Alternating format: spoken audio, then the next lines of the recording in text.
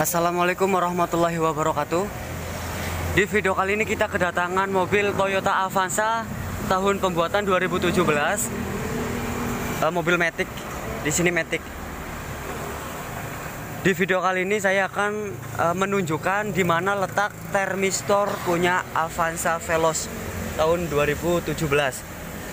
Ini yang eh, grillnya seperti ini. Untuk tempat termistor eh, untuk apa mobil Avanza Veloz jadi dia nempel soketnya di box evaporator nih. Jadi soketnya yang ada di sebelah kanan nempel di box evaporator soketnya warna putih. Nanti kita angkat eh, untuk termistornya eh, juga nempel di evaporator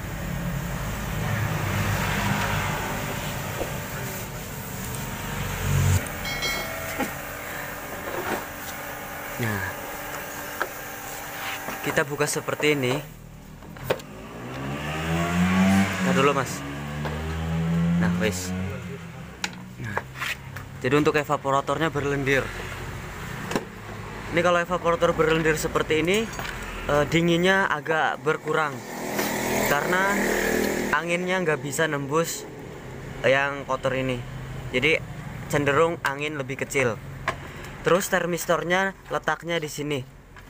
Ditancapkan di evaporator. Dan kemarin ada yang eh, ditanyakan letak termistor punya Avanza. Nah, jadi letak termistor punya Avanza seperti ini. Dia nempel di evaporator. Jadi buat sensor pendingin.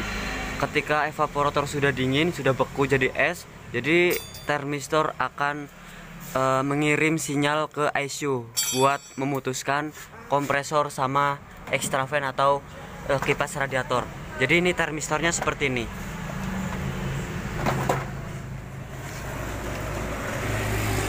Di sini untuk letak soket termistor. Kalau termistor itu sendiri berada di dalam box evaporator dan nempel di evaporator sensornya.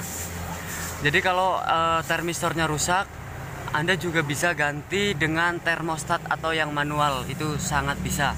Tidak mempengaruhi uh, kinerja part yang lain. Kalau kita ganti pakai termostat biasa. Asal tahu bagaimana cara uh, merangkainya.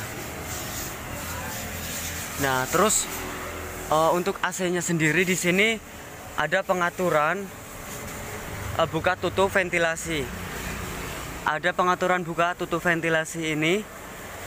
Dia menggunakan kabel seperti ini seling. Tuh. Masih menggunakan kabel belum pakai motor elektrik. Jadi fungsinya uh, buka tutup ventilasi ini buat menutup atau membuka ventilasi yang dari luar. Nah di sini banyak uh, kesalahan para pengguna mobil terutama uh, di ventilasi ini ketika Anda nyalakan AC jangan sampai ventilasi yang sirkulasinya dari luar. Karena apa? Kalau kita menggunakan AC pakai sirkulasi udara luar, sini kita putar sini. Kotoran yang dari luar dari kap mesin dia akan masuk ke dalam, ke dalam blower, ke filter.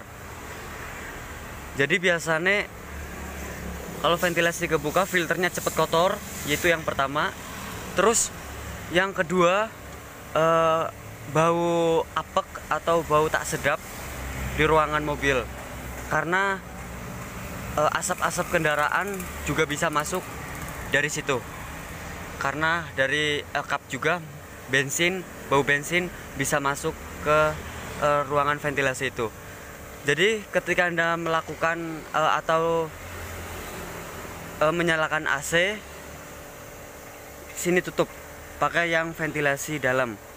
Kalau bisa yang ventilasi kita tutup pakai seng karena tidak berfungsi di uh, Indonesia. Dan biasanya ventilasi uh, seperti itu banyak sekali uh, buat tikus masuk ke blower. Jadi AC-nya bau tikus. Biasanya masuknya dari situ kebanyakan. Uh, jika mobil anda bau tikus anda cek ventilasi yang dari luar anda bisa buka wiper atau buka dashboard sebelah atau buka dashboard atas. Anda cek.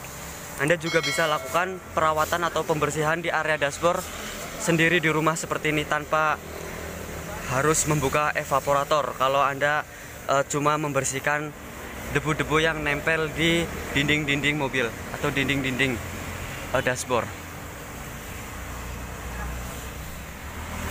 Dan kemarin ada yang menanyakan ketika diputar ke posisi nomor satu nomor 2 nomor 3 nomor 4 sama sekali nggak keluar angin atau blowernya sama sekali nggak bekerja. Tetapi untuk kompresornya bekerja pipanya dingin. Nah kasus seperti itu uh, bisa terjadi karena motor blowernya mati. Jadi motor blowernya seperti ini. Itu penyebabnya bisa dari blowernya mati karena ketika kita putar blower 1 2 3 4 kompresor sudah bekerja. Anda bisa cek langsung ke blowernya. Soketnya di bawah sini. Kalau soketnya di sini ada arus listrik plus dan minus pasti 100% blowernya yang mati. Bisa dari coolnya ataupun uh, angkernya yang sudah rusak. Anda juga bisa cek bagaimana cara mengecek sirkulasi freon. Nah, cara mengecek sirkulasi freon, kotor atau e, tidaknya freon atau e, di jaringan AC, Anda juga bisa cek di e, kaca e, pipa jalur AC. Jadi di sini kalau buat Avanza Veloz di sebelah kiri.